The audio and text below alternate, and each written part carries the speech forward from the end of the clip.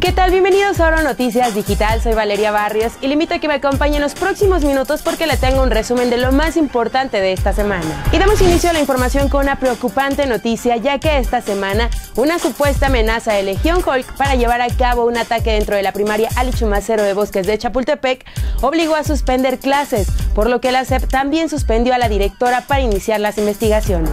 Y la embajada francesa emitió una alerta para sus ciudadanos que visiten la Sierra Nororiental a la que señala como una zona de alta peligrosidad.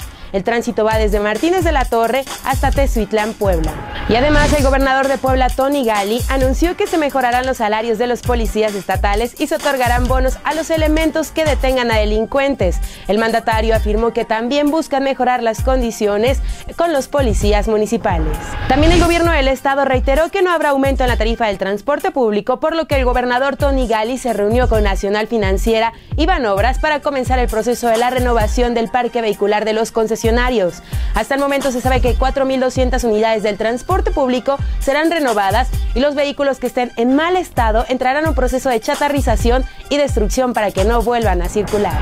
Por su parte, el subsecretario de Transporte Estatal, Alberto Vivas, informó que los taxis también se sumarán a este proyecto de botón de alertamiento e instalación de cámaras de seguridad. Sin embargo, todavía no hay una fecha que defina esta situación.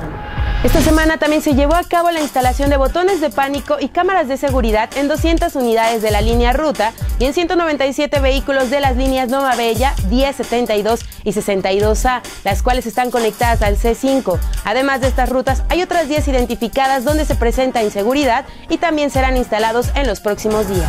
Y dio inicio el operativo de Semana Santa, por lo que la Secretaría de Salud del Estado ha revisado hasta el momento 24 establecimientos de pescaderías y balnearios sin que se haya emitido ninguna recomendación a sus dueños hasta el momento. Esta fue la información más importante hasta el momento. Les recuerdo, soy Valeria Barrios y le deseo que tenga un excelente fin de semana.